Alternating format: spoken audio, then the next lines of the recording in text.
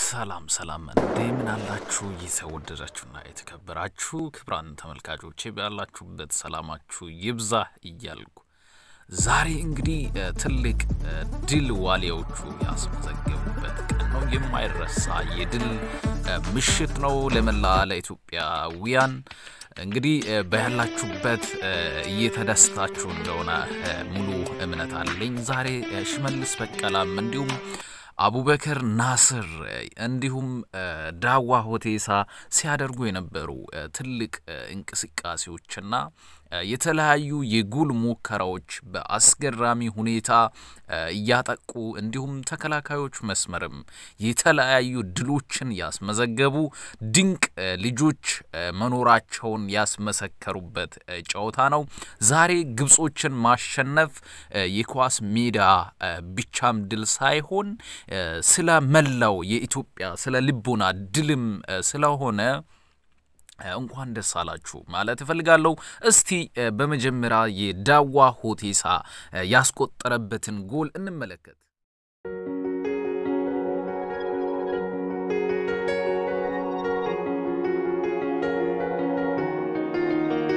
نسبة يعني عالية قوي في اللقاء ومنتخب اثيوبيا تحس حافظ الملعب اكتر عدى من محمود علاء والهدف الاول وعدى كرة وتغطية مش موجودة من عمر جابر ويسجل اللاعب ራሱም አስገራሚ ነበር። እንግዲህ ዛሬ በእውነት የሚያስገርም የሚያስደንቅ ጨዋታ ነው እየተጫወቱት። ሁላችሁም እንደተመለከታችሁ ነው።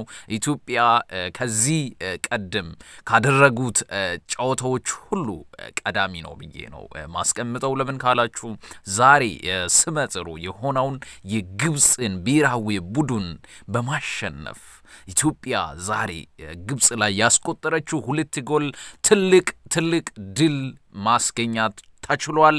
እንግዲህ በዓለም ላይ የምትገኙ የኳስ አፍቃሪያን ውድ ኢትዮጵያውያን እንግዲህ የኢትዮጵያ ዋሊዎቹን ደጋፊዎቹና እንግዲህ ባላችሁበት እንኳን ደስ አላችሁ ማለት ፈልጋለሁ። እስቲ ሽመልስ በቀላ ያገባውን ጎል እንመለከት።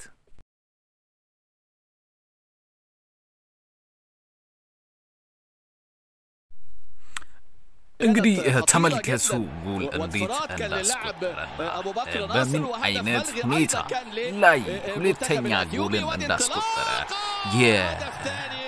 የሽመልስ በቀላ አስገራምና አስደናቂ ጎል ኢትዮጵያ ሁለት ለዜሮ ግብፅን ቀጥቅጣ እንደሸኘችው ማረጋገጥ ችለናል። እንግዲህ ክቡራን ተመልካቾች ያላችሁበት ሰላማችሁ ይብዛ። ይህን የሳሚ ቪዥንስ ቱብ ቻናል subscribe እያደረጋችሁ ቤተሰብ እንድትሆኑና ከዚህ በኋላ በየጊዜ የሚመጣ አጫጭር መልእክቶችና እንዲሁም የተለያዩ ፕሮግራሞችን ለመከታተል subscribe አድርጋችሁ ቤተሰብ በመሆን አንድነታችሁንና አብሮነታችሁን እንድታሳዩ በፍቅር እጠይቅ